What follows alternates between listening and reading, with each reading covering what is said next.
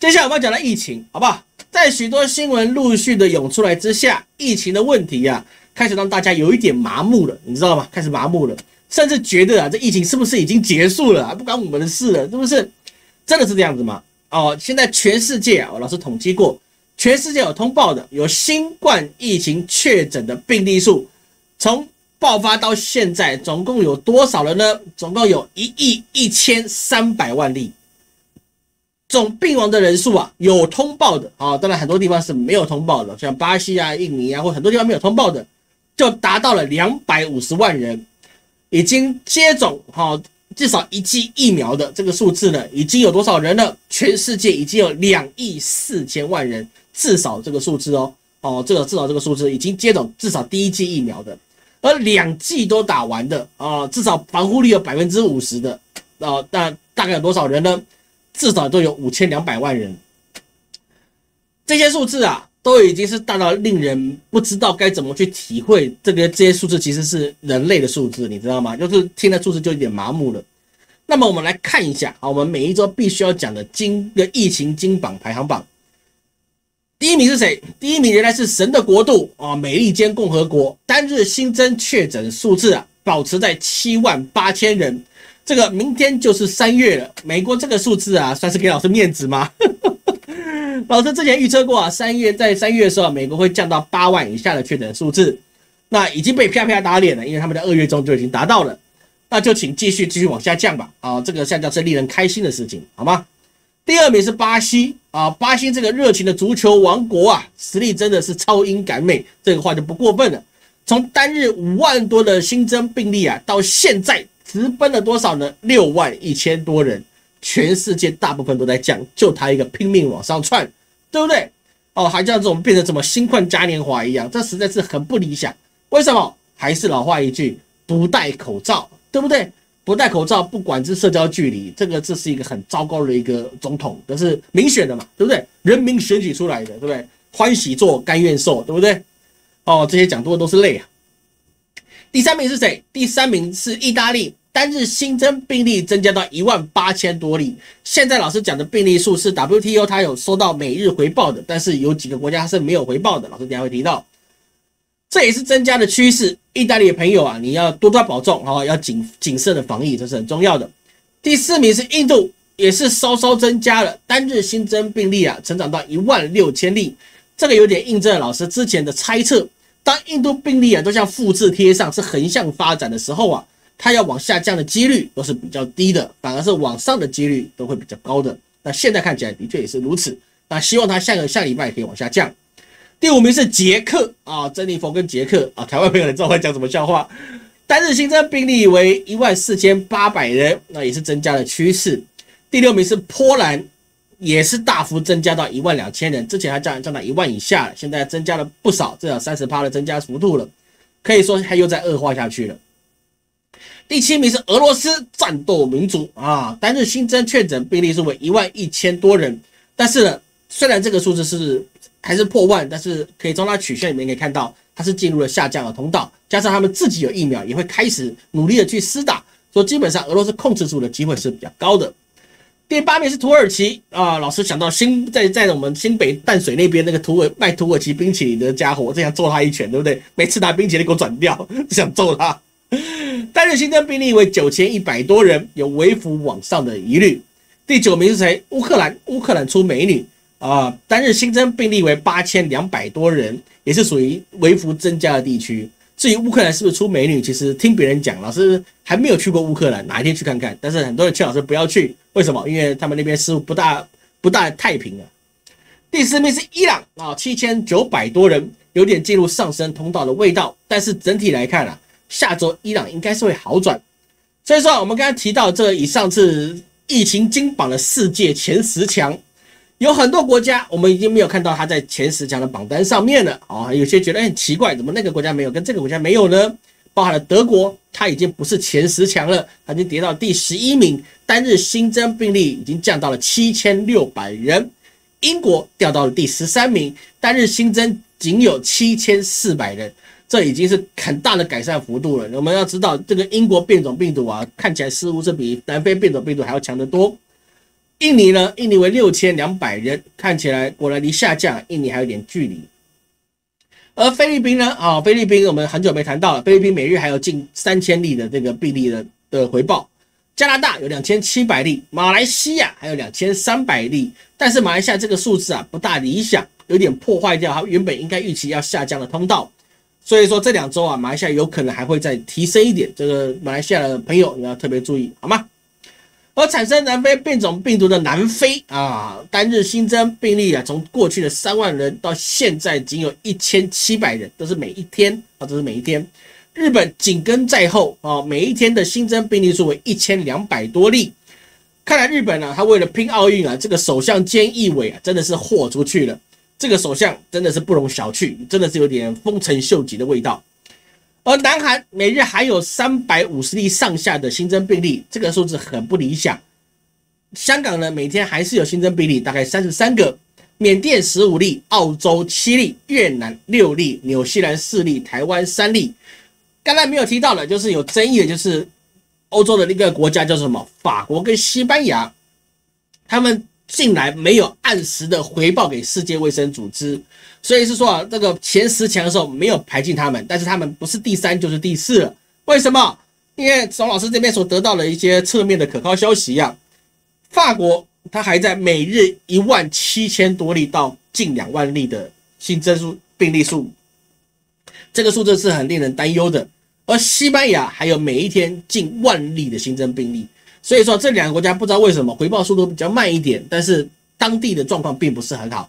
所以说，法国跟西班牙的朋友真的是要好好保护自己，好吗？从这些数字来看啊，我们可以发现一件事情：疫情对于北半球，尤其是白人国家啊，除了巴西啊，巴西不是白人国家，对不对？哦，所以白大部分白人国家似乎都还在比较严重的范围之内。但是可以从这里看出来，凡是个人主义越重的，例如法国、西班牙，它的数字也会相对保持在相对严重的地方。政府领导力强的，例如什么美国、澳洲控制起疫情啊，那就是比较的妥当一点。美国说有口罩令就是下口罩令，说要给你打疫苗就是要尽力给你打疫苗，完完全全的就是雷厉风行。所以说，美国做事起来真的我们还是值得去佩服他的。那没有谈到是哪个国家呢万恶的、独裁的，真的是呃暴政的，还有什么没提到的？大概是这些吧。哦，共中国共产党目前在中国的内陆地区啊。还没有什么明显的一个安的那个病例所传出来，那么中国每日有没有施打疫苗呢？中国疫苗已经多到可以外销了，对不对？中国每日施打疫苗啊，根据最近的报告，最近的离现在已经还有一段时间了。最高的是一天打了九百万剂啊！说美国打两百万，中国打九百万，你看中国打起来真的是真的是惨无人道啊，没有人权呐！你这样把九百万个人打你的恐怖疫苗，对不对？没有经过欧美的认可，是不是？你竟然敢自己国民去打，你一定是打白开水，对不对？哦，打了九百万例啊，最低的状况之下都还有五百万剂一天一天，这个是在这个数据在什么时候呢？这个数据老师可以取得的，其实是在二月九号的时候。今天都二月二十八了，你说是不是？哦，离现在已经很久的时间了，所以整体的施打进度啊，中国现在应该有施打近两亿的新冠疫苗的数字，然后这个数字应该是可信的。那就算我们打个折，你要你要各位要知道，中国的从来不讲实话，万恶的共产党一定都是灌水的，所以至少应该都还有一亿五千万人施打了新冠疫苗。那在这种情形之下，应该可以在半年之内。达到了群体免疫的状况，这个几率应该是比世界上任何地方都还要来的高的。毕竟他们自己有生产疫苗，而且灭活疫苗到像目前为止，它的效果受到变种病毒的影响的确是比较小的。那现在施打状况其实还蛮顺利的哈。那不晓得以后它会不会开放，你施打疫苗的就可以不用隔离十四天了。如果当他不用隔离十四天的时候，各位老师就会去中国了。但是老师在年终的时候啊，可能就往我们先从美国、英国、澳洲那个地方、欧洲的地方先去绕一圈哦，不知道会不会先中国，但是应该会先往美国去打走吧。到时候有机缘的，我们再见面，好吗？而我们一直谈到疫情啊，所以说我们后面可以预计是什么？就是世界经济的复苏啊，首先就比较会在亚洲了，因为亚洲的疫情一直都是比较控制住的，相对于在欧洲这个欧美洲这些个地方啊，的确是控制住的，而且人口也是比较稠密。生产力也是比较高的地方，然后这是亚洲。那澳洲呢，我们不能说它不好，而就是说它人口太少了啊，这么大一个澳洲的人口数跟台湾其实没有差太多哦。那这个状况之下，它的主要生产还是在一些特殊的农产品上面，所以是说啊，基本上亚洲的发展潜力是比较高。那么这个状况之下呢，肯定不是美国希望看到的，因为亚洲好，美国就要打亚洲。像过去我们看到的一些，呃，数好几次的金融风暴，都是不断的去狙击亚洲，对不对？这个是美国不希望看到的状况。那么现在问题就是什么？现在卡到美国的疫情，它已经趋缓了。美国政府突然发现一件事情，他发不发钱，似乎美国人都还活得下去，你知道吗？他也是不断拖这个这个案子不要过关，可是美国的好像都还活下去的耶，似乎好像没有这么急着要这个钱嘛，只要我们再审，百姓就可以等嘛，对不对？呃，那最后我们可以发现到会有什么事情呢？这笔钱最终还是会发，这个是没有没有什么意外的，但是发的模式啊，可能就是变成什么分段发、逐步发、慢慢发等等之类的状况之下，而不是像神之子的川普一样。大刀一笔啊，手一挥，一张特朗普签名的支票就到你家里去了啊，这个就比较难。那么这种情况啊，美国必须抑制他国的发展，才能维系他自己的优势。为什么？美元必须是霸权，他如果不是，你叫他怎么还债？以后印钞票谁给你买单呢？对不对？说美国是必须要维持他世界第一的霸权，他不可以让，一让他就完蛋啊！就像什么？落架的凤凰不如鸡，所以说啊，美国是一定要维持的。所以说，接下来我们要看到的，就是美国会在今年，应该是年中啊，或是在中秋前呢，美国应该啊，这老师的猜测啊，老师的一个小预测，美国应该会收缩一点货币宽松政策，就是说放松起来，哎，我可能要怎么样呢？调高一点利率喽，哎，解除一点零利率的限制了，让美国怎么样？它的资金开始抽离到各国的股市。不断的涌回到美国里面，这就是货币的驱赶。这一开始他们就打定这个主意了。这个全世界的央行都知道，你货币宽松，你不可能无限制宽松。到最后，你所放出来的钱，哦，一定是要慢慢的从世界各地慢慢的把它赶回去，啊，甚至从股市慢慢的抽离，把钱集中回到回到了美国政府上面。为什么？因为必须要抑制它这个通膨存在。所以刚才有朋友提到通膨该怎么办？谈到通膨。美国不是傻子，对不对？它的基因这是超乎我们可以想象的地方，所以是说它一定会把这个钱慢慢的抽离回来，把美元驱赶回美国，抑制它的通货膨胀，也有让各国的股市啊有有可能有可能会有泡沫化的机会，甚至华尔街它自己都有可能泡沫化。过去老师一直提跟朋友提到是说，这个美国的股市它一定会上冲下洗，让你抓不到它的方向，然后呢忽涨忽跌。把你的钱全部洗回去，让你手上没有钱。大部分的人跟我讲不会，它一定一直往上涨，顶多跌一两次，它都继续往上涨。呃，说到我老师也不是什么投资专业的，所以老师也不能说什么。但是这一周我们可以看到涨跌涨跌，基本上是一个很大的波动，对不对？盘中给你跌到底，收盘又给你涨回来，啊，好像没有事情一样。最后他是为的是什么？为的是要把你的钱全部洗回来。哎，这个是一个他们的一个策略。所以是说啊，这个这个这个东西啊就要特别去注意，未来他们到底会从各个国家的股市中抽走多少钱，把其他国家百姓的钱吸回来，然后去填补美国的亏空，这个状况就要特别去注意。各位，你真的要记知道一件事情，外资是两面刃，它进入到台湾的股市的时候，台湾股市会涨，但是它一抽离的时候，麦芽一出来的时候，台湾股市就咚掉下去，对不对？所以这个状况它是一个两面刃。当美国需要的时候，他不管你多少，就把你台湾人的钱把你挖回去。这举例了，不是只有台湾了，也不是台湾一定会崩了。老师只是举例，好吗？老师不是这个那个什么呃股市老师，对不对？我是算命的，但是不是算股市的，对不对？老师我在讲，你我在听，是不是？不是，所以是说啊，这个是有这个危险。这跟这这个问题呀是非常重要的。因为这个泡沫化的事情呀，当然应该是不会像过去，比如说亚洲金融风暴啊，比如说九七年的金融风暴啊等等之类的。但是这个举动是为了要全世界去分担美国它本身发钱的亏空，这是变成它必要的存在。美国的亏空，它一定会让世界各地帮它去分担，因为它是美元的霸权。所以说，美国它能够能够说我尊重市场的机制，让中国起来一阵子当家老大吗？不行，是不行，你知道吗？它绝对不可以放过中国，它一放过中国，美债就会兵败如山倒，真的是树倒猢狲散，这这这是完蛋。就说美国绝对会搞事，这个是依据美国政府的利益的存在，我们不能说它不对，也不能说它对，这是一个国家的外交政策跟他们自己的运作方法，这是一个现实。我们不要去评论对或不对，我们所要知道的事情是，这是一个现实。我们知道有可能发生这个现实的时候，我们要怎么去面对？这个才是老师讲的要道理。那么这个地方当然会有个差异，差异是什么？过去的金融风暴的存在的时候，是全世界美国独强，他想打哪就打哪。但是现在不一样，中国的存在呀，是令美国真的很不方便。为什么？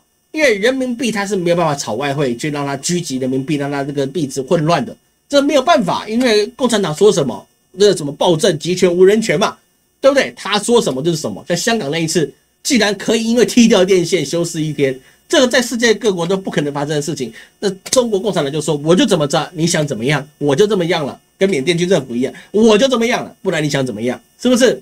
所以说，在这个状况之下，这个他的民币没法聚集啊，就没有办法那么让那么快让中国去负担他们的亏空。那么你要让中国混乱啊，一般的民主欢乐颂又不容易送进去。少部分的这些一些所谓的工资派，他们还是觉得说美国是美国是神，你知道吗？那当然也可以这么认为，你有思想的自由嘛，对不对？但是其他的已经在好好生活的，他当然不需要社会去乱。所以说，民主欢乐颂在中国基本上是送不进去的啊，有困难的。有些人喜欢美式的民主，那么当然你可以去，你可以去有这么想，你也希望中国有一天变成那样。但是相信老师，大部分的中国人不会这么想。有快乐的日子不去过，你偏偏要搞去什么街头抗争，你是有病吧？说到街头抗争，有人比文化大革命还要厉害吗？对不对？你斗得过共产党吗？我告诉你，这三十年没人斗得过他了。三十年后很难说，三十年内没人斗得赢他了，好吗？那在中国炒股啊，又容易被共共产党玩死，因为你根本就不知道你炒的到底是什么东西，对不对？炒来炒去，搞不好共产党自己手上的企业，他想让谁赢就谁赢，他想让谁输就谁输，所以你也炒不过他，是不是？